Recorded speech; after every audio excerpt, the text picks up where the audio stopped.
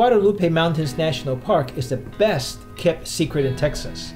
It is the other national park in Texas, not nearly as well known or visited as Big Bend. It is smallish, only the 40th largest national park and visited by less than 200,000 people per year. Guadalupe Mountain is part of the Capitan Reef, which stretches 400 miles from Alpine, Texas to Carlsbad, New Mexico. This ancient ocean is now desert, with plenty of evidence of the past. Guadalupe Peak is the tallest point in Texas at 8,751 feet. Hiking the strenuous 8.5 mile trail to the peak is beyond us, but it is a goal for many hikers. There are many trails and a couple of historical sites. It boasts the prettiest fall foliage in Texas and wonderful spring flowers. Because vegetation is so low, seclusion is a major plus. So we are now at the Guadalupe Mountains National Park. It is uh, quite a windy day here, so I don't think you're going to hear much because of the wind. But uh, we're embarking our first hike, and uh, we're starting out at this uh, old ranch.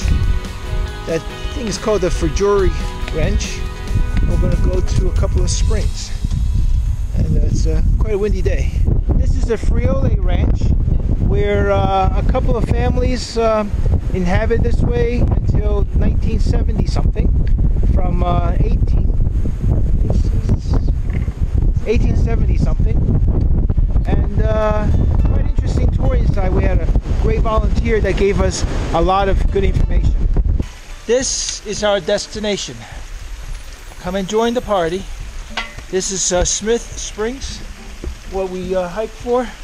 And you can tell the water is super clear.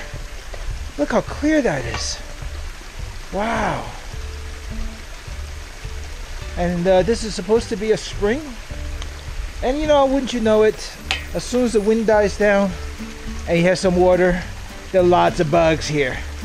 You can see them floating on the water. I don't know what they are. But uh, this is just super, super clear. Very nice. I bet you that water's refreshing, but I wouldn't try it because I don't know. We are at the uh, start of the Mc McKittrick Canyon Trail, and uh, today is a beautiful, calm day.